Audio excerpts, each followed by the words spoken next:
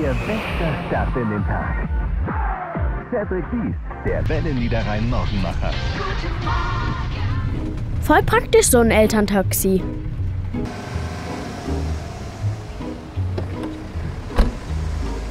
Aber meine Eltern würden mich am liebsten bis vor die Klasse fahren. Wie peinlich ist das denn? Da ist so eine Elternhaltestelle schon cooler.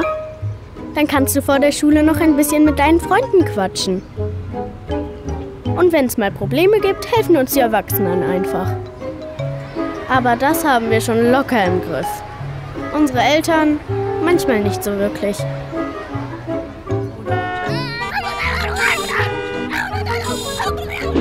Verkehrschaos vor der Schule? Das muss nicht sein. Elternhaltestellen werden auf Wunsch der Schulen zusammen mit der Polizei und der Stadt Krefeld eingerichtet. Sprechen Sie uns an